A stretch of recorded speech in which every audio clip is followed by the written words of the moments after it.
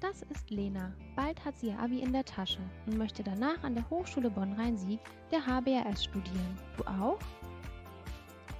Und genau wie du versucht Lena herauszufinden, wie genau Bewerbung und Zulassung funktionieren. Doch alles scheint so kompliziert. Wo und wann muss ich mich bewerben? Oder reicht die Einschreibung? Was ist ein NC? Und was sind Wartesemester? Und wie funktioniert das alles? Lena, wir erklären es dir. Lena weiß, dass es zulassungsfreie Bachelorstudiengänge gibt. Für einen zulassungsfreien Studiengang muss sie sich nicht bewerben, sie kann sich direkt einschreiben. Doch Lena interessiert sich für einen zulassungsbeschränkten Bachelorstudiengang. Was bedeutet das? Zulassungsbeschränkte Studiengänge erfordern eine Bewerbung. Wie genau das funktioniert, weiß Lenas Freund Leon und erklärt es ihr und euch in seinem Video zur Online-Bewerbung.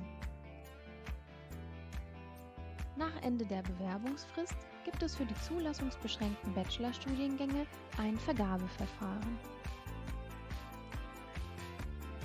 20% der Studienplätze werden nach der Note der Hochschulzugangsberechtigung HZB vergeben, 80% nach dem Ergebnis des hochschuleigenen Auswahlverfahrens. Ein kleiner Teil der Studienplätze im Auswahlverfahren geht an beruflich Qualifizierte ohne Abitur oder Fachhochschulreife, der Rest wird vergeben anhand einer Auswahlverfahrensnote. Die Auswahlverfahrensnote berechnet sich an der HBRS aus, Note der Hochschulzugangsberechtigung, minus 0,1 Notenpunkte pro Wartesemester. Achtung, es können maximal sieben Wartesemester angerechnet werden. Wartesemester sind übrigens alle Semester, also Halbjahre, in denen du nach dem Erreichen der HZB nicht an einer deutschen Hochschule eingeschrieben bist. Lena sagt, meine Abiturnote wird eine 2,5 und ich plane ein FSJ und sammle so automatisch zwei Wartesemester. Lena, deine Verfahrensnote nach dem FSJ wäre also 2,3. Und was bedeutet das? Du und all die anderen Studieninteressierten, ihr bewerbt euch auf die vorhandenen Studienplätze in eurem Wunschstudiengang.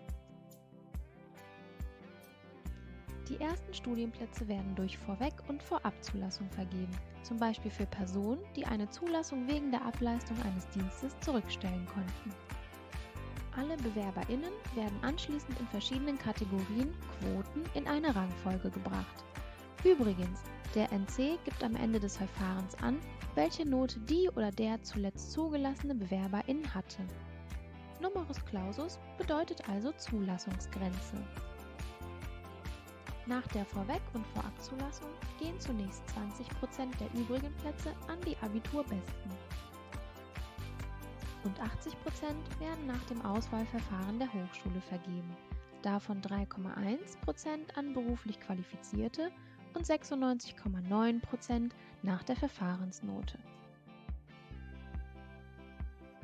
Manchmal kann es ganz schön lange dauern, bis man Nachricht bekommt, ob man einen Platz erhält. Da sich viele auf mehrere Studienplätze bewerben, werden die Ranglisten im Koordinierungsprozess immer wieder aktualisiert. Ranglisten werden aktualisiert?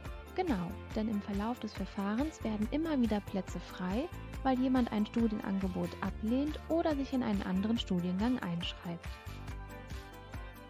Die frei gewordenen Plätze werden dann der nächsten Bewerberin oder dem nächsten Bewerber gemäß der Rangliste angeboten.